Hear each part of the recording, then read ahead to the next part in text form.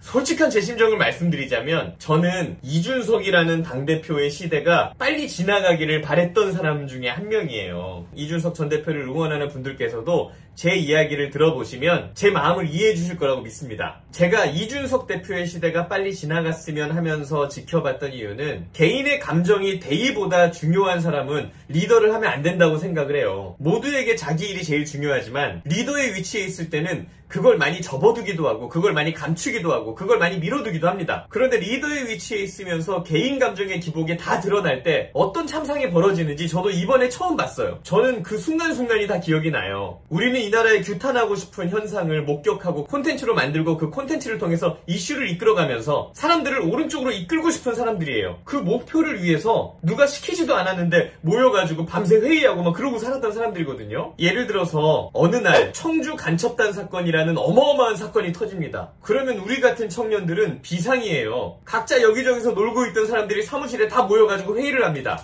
야 이걸 알려야 돼. 이 나라에 간첩이 있다고. 이걸 알려야 돼. 이게 말이 돼? 야 간첩들이 이재명 캠프 일까지 한다잖아. 이게 말이 돼? 밤새 회의에서 콘텐츠를 만들고 새벽에 찍어가지고 오전에 편집해서 오후에 영상을 올립니다. 많은 분들이 봤으면 좋겠다. 그날 정치권 풍경을 한번 봐야지 하고 들어가 보면 SNS로 자기가 미워하는 당내 정치인이랑 싸우면서 모든 이슈를 이준석이라는 인물이 다 먹고 있어. 우리한테만 중요한가?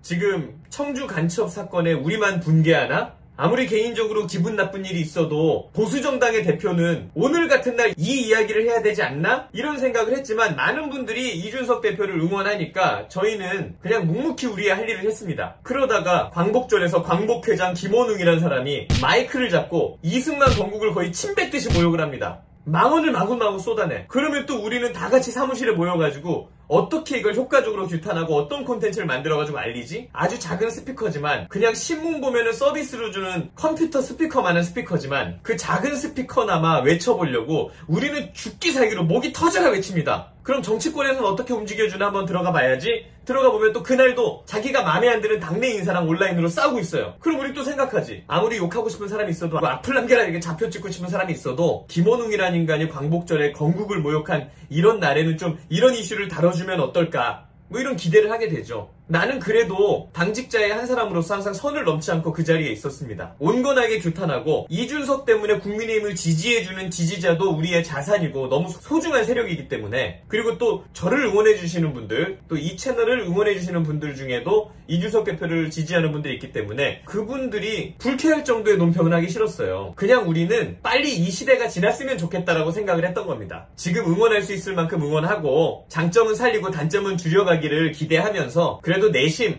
이 시기가 빨리 지나갔으면 뭐 이 생각을 했죠. 그리고 어떤 일까지 있었냐면 이준석 대표는 항상 이렇게 싸잡아가지고 유튜버들 유튜버들 하면서 뭐 이런 활동을 하는 걸 격려하기는커녕 잘 된 건 다 자기가 이거 이거 이거 해가지고 잘 된 것처럼 이야기하면서 열심히 뛰고 있는 사람들 기분 나쁘게 말하거든요. 보수 유튜버들, 유튜버 담론. 근데 그런 거를 제가 알고 있었는데 심지어 국민의힘 부산시당에서 정치 아카데미 강연자로 왔을 때 그 정치 아카데미에서도 그런 이야기를 했습니다. 여러분 보수 유튜버들 하는 이야기가 어쩌고 저쩌고 어디서 보수 유튜버나 보고 나도 앉아있고 캡틴 TV도 앉아있는데 우리는 강연장에서 돈 내고 강연 들으러 앉아가지고 그걸 봤어요. 상처받았다고. 그래도 당직자로서 선을 넘지 않고 많은 분들의 감정과 화합지향적인 콘텐츠로 더 큰 지지세를 만들어가야 되는 국민의힘을 생각하면서 저는 많이 절제하고 선당우사했다고 생각을 합니다. 그리고 저를 비롯해 서 많은 분들이 지금 국민의힘 비대위에 힘을 실어주고 윤석열 정부에 힘을 실어주는 이유는요. 이준석 대표의 투쟁 방식이 선을 넘었기 때문에 이제 많은 사람들이 그가 다시 돌아와도 당내에서 지도력을 발휘하기 힘들겠다라고 판단을 한 겁니다. 안타깝죠. 저도 안타깝죠. 많은 이준석 지지자분들이 당대표를 그렇게 내치고 당대표를 그렇게 쫓아내고 당대표를 그렇게 탄압하고 뭐 이런 이야기들 저한테 많이 하시는데 이준석 전 대표는